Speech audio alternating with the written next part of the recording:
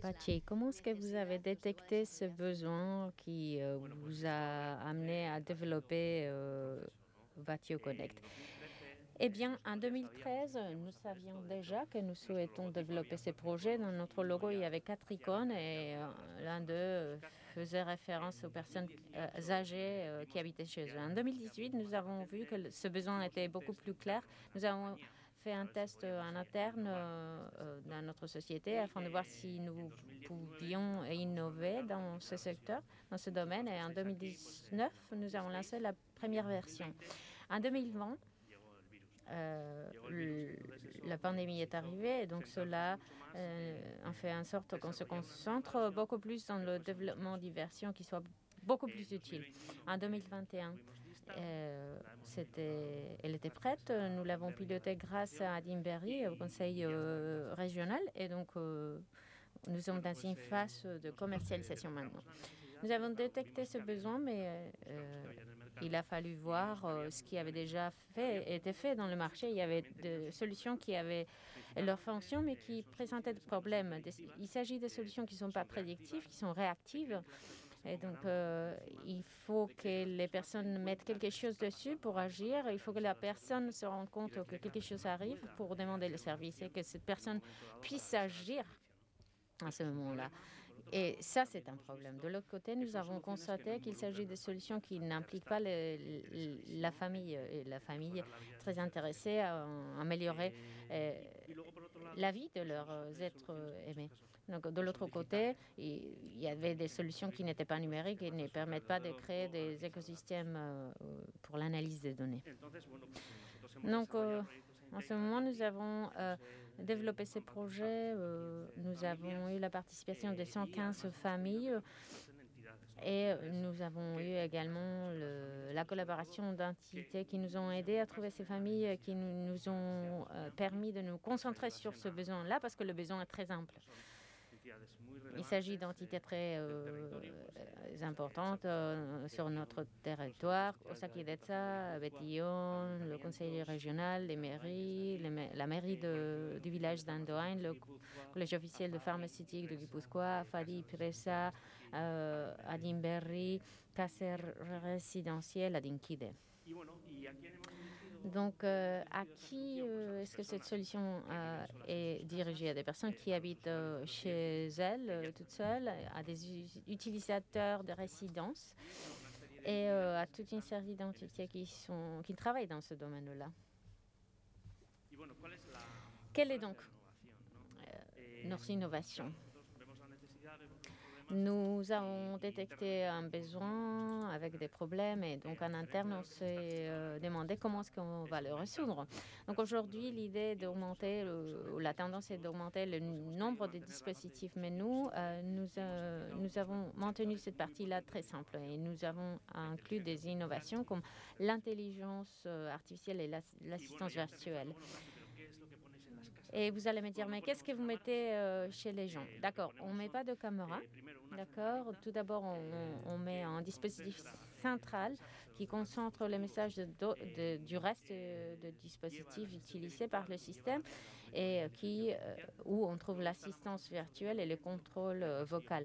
Après, nous installons un capteur de mouvement dans le couloir central de la maison qui contrôle le, le déplacement jusqu'à la chambre principale. Nous mettons un capteur euh, à la porte principale euh, de la maison pour monitoriser les entrées-sorties et puis euh, un capteur d'ouverture du frigo pour monitoriser comment les personnes mangent.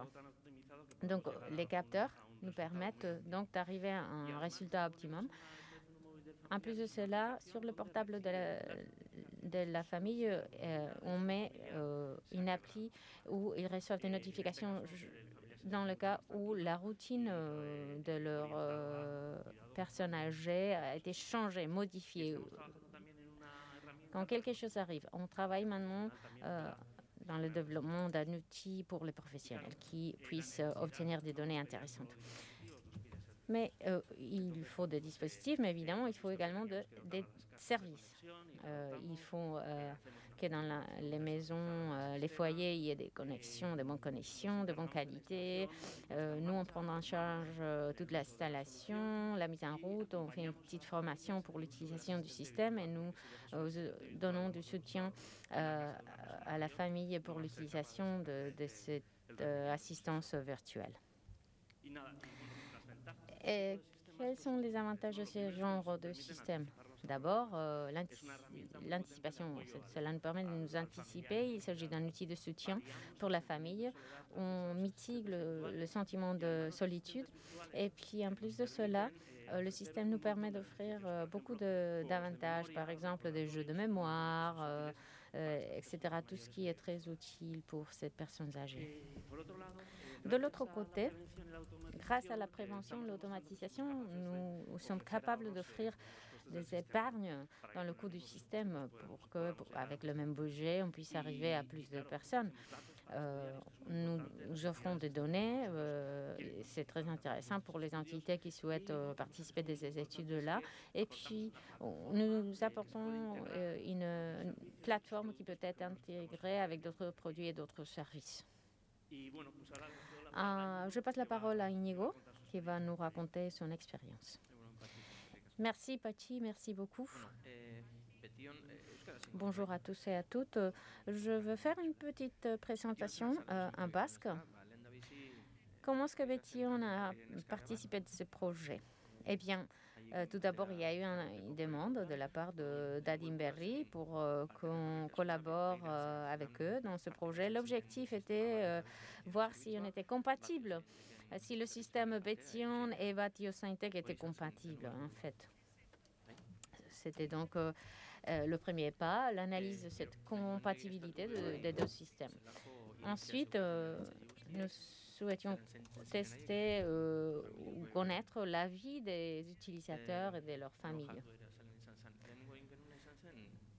Alors, euh, ce que nous avons fait tout d'abord, c'est de voir combien d'utilisateurs euh, il y avait un profil bien déterminé, personnes qui habitaient dans nos Aldea, qui aient leur capacité cognitive complète, autonomie personnelle, ce qui est très important. Euh, euh, il a fallu analyser la mobilité de ces personnes-là, la capacité de se déplacer et euh, leur degré de familiarisation avec les nouvelles technologies. Nous avons plus de 400 capteurs installés déjà.